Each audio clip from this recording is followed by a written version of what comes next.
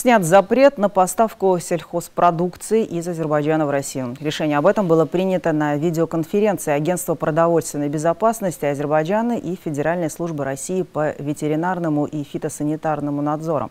Решение об ограничении поставок сельхозпродукции было принято из-за выявленных в экспортируемых Азербайджана томатах и яблок вредителей.